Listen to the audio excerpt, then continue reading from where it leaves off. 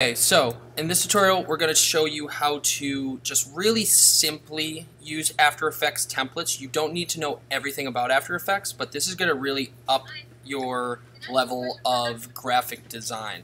Uh, so a lot of people, a lot of times people are like, "Oh man, that graphic on the transcript was awesome." Just like little simple things. So I'm going to show you how to just really lightly edit one. I'll give you this actual template as well if you want to follow along, but feel free to take any of these.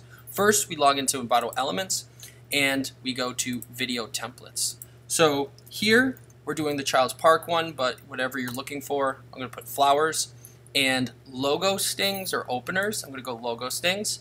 And these are just really short animations that are, we're going to edit. So I've picked this colorful flowers one. I download it and then open the zip file. And then in the zip file, you usually have the project file.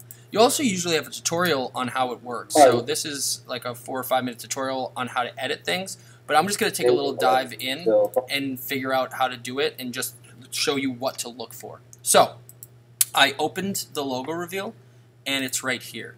You might get something that says this is an older project. The original file uh, will be unchanged. It's just going to make a new file. We're going to hit OK and we're going to load this up. So looks a little complicated, but what we already know about Premiere Pro uh, in kind of timeline sequences is that this is our timeline sequence, and these are our, all of our different layers.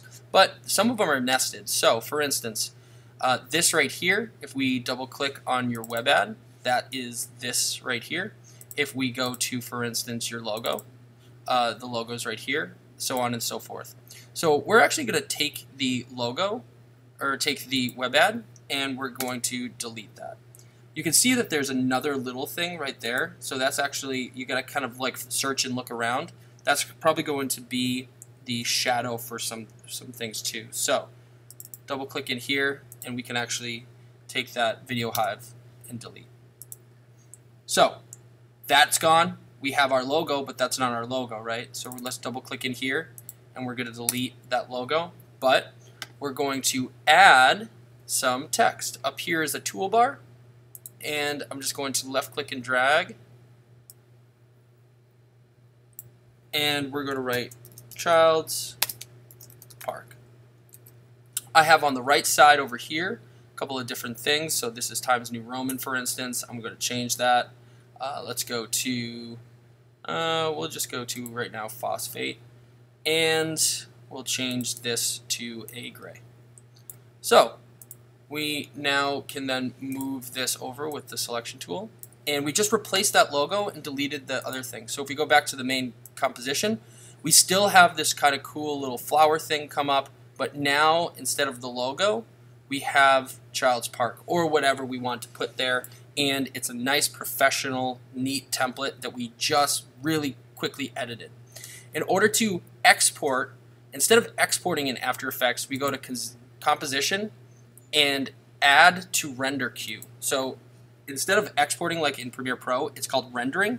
And we just need to know that the output uh, is fine, that's lossless, and then the output 2, this is where we're going to rename it and save it. So in this case, we're going to name this Child's Park intro, and we're going to save this to our local and whatever we're working on. So for instance, if I go to um, if I go to my uh, Child's Park video montage, I'm going to save this to the media folder and hit save. Then, last thing you do is render. So, really easy. Some templates are a little bit more complicated than others. Uh, some of them are Premiere Pro stuff, but you have their tutorials, you have this tutorial, and just try to reverse engineer what's going on in your main composition in order to edit the nice templates.